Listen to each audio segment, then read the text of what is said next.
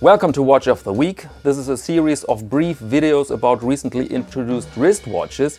Every Monday I give you here in about 4 minutes an overview, style, specifications, price, availability and I go from the very affordable pieces to a high end. And Watch of the Week is not a commercial, I'm independent and so I can give you here independent informations. And our topic in this week is People often ask me what I think about Steinhart. German brand specialized in Rolex and Tudor homage watches. They are a pain for other micro brands because they deliver very high quality, they deliver modern ingredients like ceramic bezels and sapphire equipped with ETA movements. Not the normal ETA lines, they offer elaborate versions and all this for around 550 euros or 600 US dollars. Very tight calculation I suppose.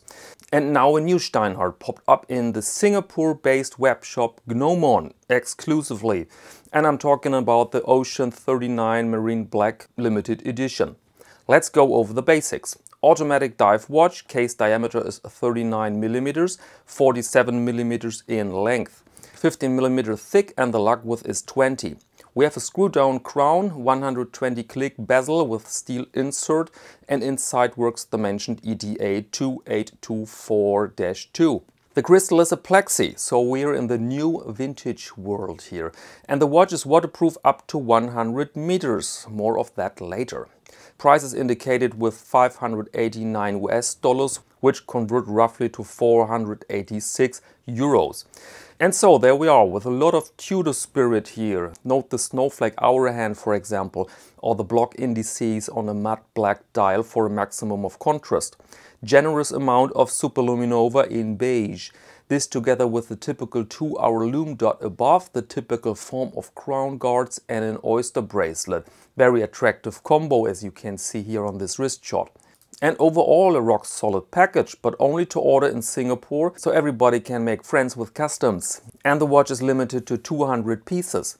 Against expectation, it was not sold out the following day. I produced this video in June the 3rd and there were still pieces available, but it's not unlikely that they are sold out now. So why this video? Well, because apparently they will continue the production of this model but in future without the Gnomon writing on the dial and with the sapphire crystal instead of the Plexi. Plexi has its charm and a certain look, but most people have to dive deeper than 100 meters because of our difficult and dangerous jobs, and so a sapphire is the more secure choice here.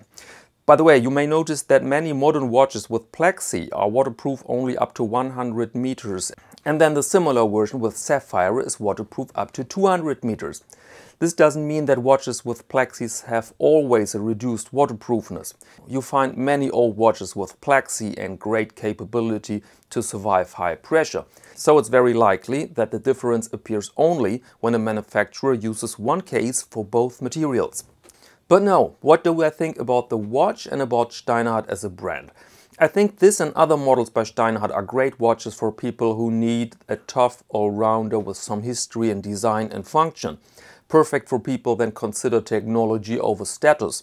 These watches are worth the money, period. But I personally will not buy myself a Steinhart and do you know why? I don't like the brand signs. The name sounds okay for German ears, but the look of the logo? Mm-mm, might be me. But I cannot get over this egg with the S in it and that cluster bomb explosion on top of the egg.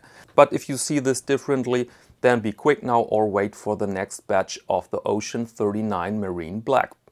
Okay, thanks for watching. My name is Tim. Let's meet here again next Monday to Watch of the Week.